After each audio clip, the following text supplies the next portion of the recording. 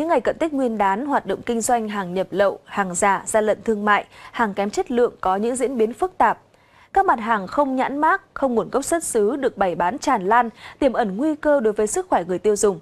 Ghi nhận sau đây của phóng viên VTC tại Nghệ An.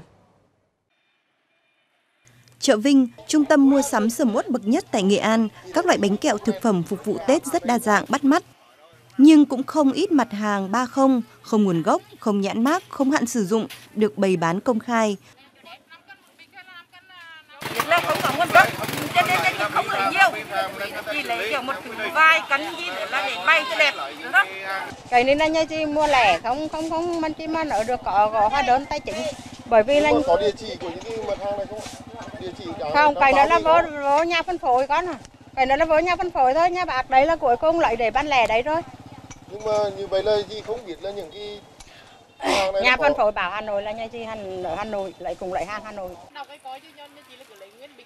Hiện nay tại các chợ đại lý, điểm bán lẻ, nhu cầu mua sắm hàng hóa thực phẩm dịp Tết đã tăng cao 3 đến 4 lần ngày thường. Đây là điều kiện để các mặt hàng không rõ nguồn gốc xuất xứ có điều kiện trà trộn, gây hại cho người tiêu dùng.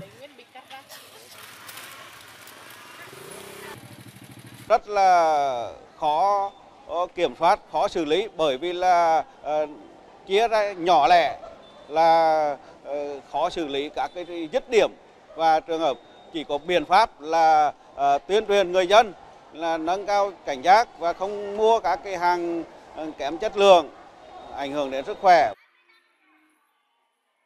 Đáng chú ý, hoạt động kinh doanh các hàng hóa nhập lậu, hàng xâm phạm bản quyền sở hữu trí tuệ, hàng hóa không rõ nguồn gốc xuất xứ tràn lan trên sàn thương mại điện tử cũng diễn biến phức tạp nhưng rất khó để phát hiện xử lý.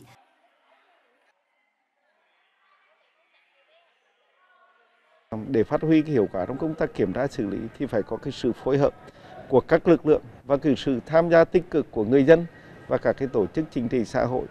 Thì à, trong cái quá trình thực hiện nhiệm vụ thì chúng tôi cũng thường xuyên phối hợp các lực lượng chức năng với chính quyền các địa phương rồi cũng sự nhờ sự ờ, phản phản ánh tố giác của người dân khi mà mua phải hàng giả, hàng kém chất lượng hoặc là khi phát hiện các cái cơ sở kinh doanh các cái hàng vi phạm ờ, trong cái hoạt động thương mại.